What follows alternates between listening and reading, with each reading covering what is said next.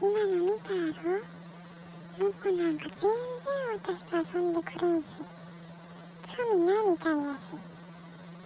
お母さんはずっと私のこと動画で撮り寄るんよね。撮る暇あったら遊んでくれたらいいのに。全然遊んでくれんのよ。やけん私ずっとゴロゴロして遊びよったんよ一人でね。ていうか私こんな格好して遊びよったんやね。